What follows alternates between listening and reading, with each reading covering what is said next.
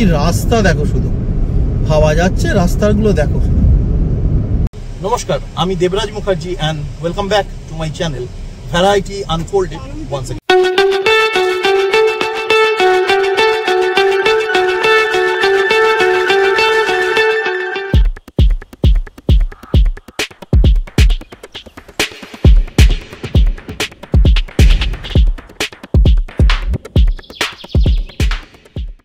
আজকে আমি আপনাদের নিয়ে এলাম বর্ধমানে এবং এখানে নিয়ে এসেছি একটি মোস্ট পপুলার ফুড জয়েন্ট এবং বাজেট ফ্রেন্ডলিও যথেষ্ট। সেটা হচ্ছে কার্জন গেট থেকে একটু যদি এগিয়ে আসেন মেন রাস্তা ধরে, রাস্তার ওপরেই রয়েছে চিপ অ্যান্ড বেস্ট রেস্টুরেন্ট বর্ধমানে যারা স্থানীয় মানুষ রয়েছেন, তারা তো নিশ্চয়ই চিনবেন, কিন্তু বর্ধমানের বাইরে বা কলকাতার দিকে যারা থাকেন, তারা হয়তো জানেন না।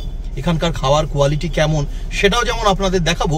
আর আমি এখানে একই সাথে অনুরোধ করব, যারা বর্ধমানে রয়েছেন বা তার পার্শ্ববর্তী অঞ্চলে রয়েছেন, তারা যদি চিপ অ্যান্ড বেস্টে এসে থাকেন, তাহলে আপনাদের অভিজ্ঞতা, আপনাদের কেমন এক্সপিরিয়েন্স হলো প্লিজ আমাকে কমেন্ট সেকশনে জানান।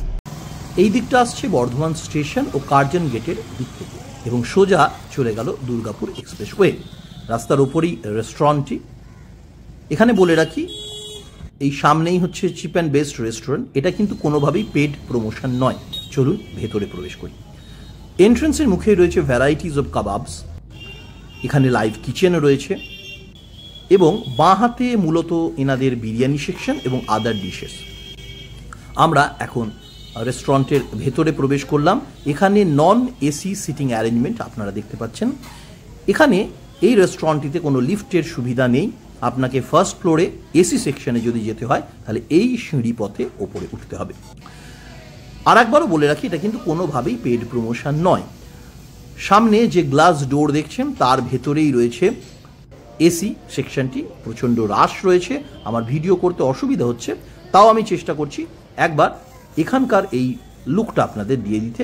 এটি হচ্ছে এসি সেকশন ফার্স্ট ফ্লোর এবং বেশ ছিমছাম, পরিষ্কার, পরিচ্ছন্নই লেগেছে আমার। এবারে মেনু কার্ড আমি এখানে মেনু কার্ডটি আপনাদের জন্য তুলে ধরলাম। আপনারা স্ক্রিন ফ্রিজ করে দামগুলো দেখে নিতে পারেন। মাটন বিরিয়ানি নিয়েছি। তার সাথে মাটন কষা গ্রিন স্যালাড এবং মিনারেল ওয়াটার মাটন কষা Pepsi green salad mutton biryani, বিরিয়ানিতে এক পিস আলু, এক পিস মাংস।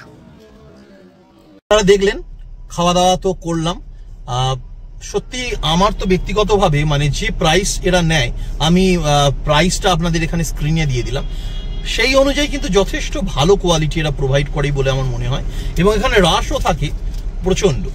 আমি এখানে যখনই অফিসের কাজে আসি, আমি কিন্তু এখানে সুযোগ পেলে একবার আসি। তাই আমি ভাবলাম যে আপনাদের সাথে আরেকবার শেয়ার করি, আপনাদের কাছে একবার তুলে ধরার চেষ্টা করি। এরা ব্যক্তিগতভাবে আমার মন্দ লাগে না, এটুকু বলতে পারি।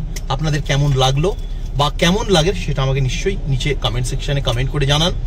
আর যেটা পরিশেষে বলতে হয়, এখানে ভিডিওটা যেহেতু শেষ করব নিচে ডেসক্রিপশন বক্সে অ্যাজ ইউজুয়াল আমার মিডিয়া হ্যান্ডেলস রইল।